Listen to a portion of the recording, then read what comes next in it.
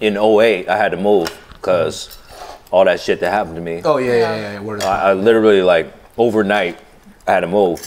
yeah. Um, Use the Google.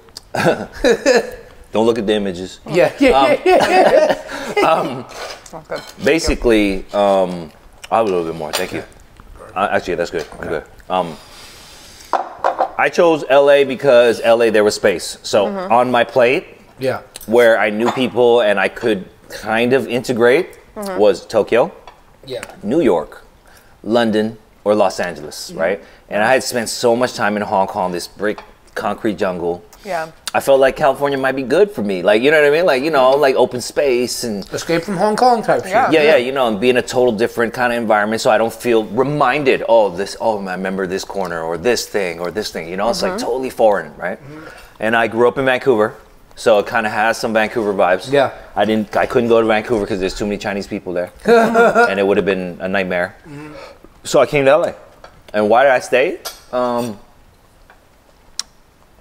I stayed, you know, I I'd say half because of the people Yeah. Yeah. and then half because LA has changed a lot ever since 08. I mean, Yeah. you know, um, with marijuana being legalized, came a wave of culture and lifestyle stuff. So, restaurants, gallery, like small little galleries, like you know, stuff like that. That was like made your life a little better. Even though it wasn't like yours, like mm-hmm. you know, like you felt like oh, there's more things to go out to instead of some, some Hollywood shits. You know what I mean? Yeah. And no disrespect to the Hollywood shits, but you have to have a variety, man. You know, you have to have a variety. And I felt like when I first came here, it was hard for me to find something that I wanted to eat, and I'd say like really like this restaurant is ill, and maybe it's because I didn't know t- enough places. But I feel like from like 2010 to 2018, there's like this crazy explosion. No, in there LA. is. What? Yo, that's interesting too, because like, I feel like it kind of started in some ways with like